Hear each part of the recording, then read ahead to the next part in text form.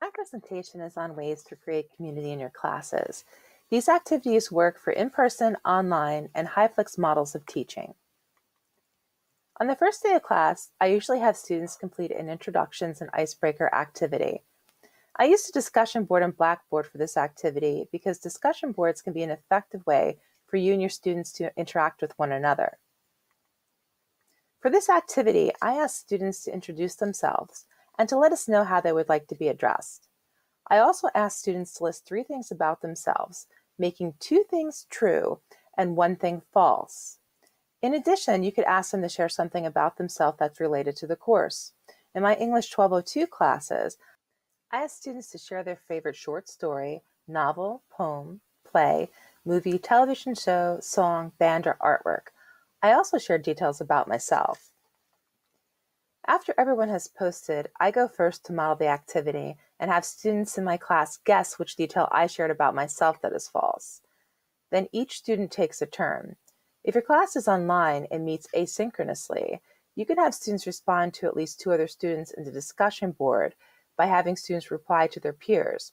To make sure that everyone has received at least one response, I included my instructions that students must make sure that everyone has received at least one response post before they provide someone with a second response post. You could also create a keeping in touch discussion board as a place for students to share pictures, messages, videos, and links to fun activities. My students have posted anything from advice to dog pictures, even shoe banners in their homes. I also engage with my students in the Keeping in Touch discussion board. Another way I build community in my classes is using the Spotify Music app. You could use the free version of Spotify. It is not necessary to purchase a plan to create song playlists. For one assignment, I created a playlist called Songs That Mean Something to You.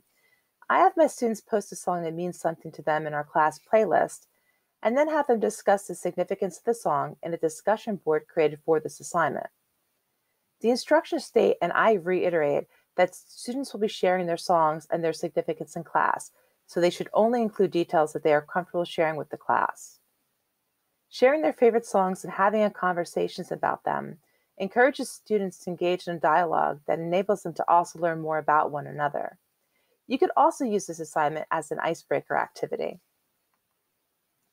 Lastly, you could use the Wiki tool in Blackboard to create a space where students can collaborate. For units or modules, I create a wiki page. Many engaging conversations have started in course wikis that informed other assignments and activities in the classes.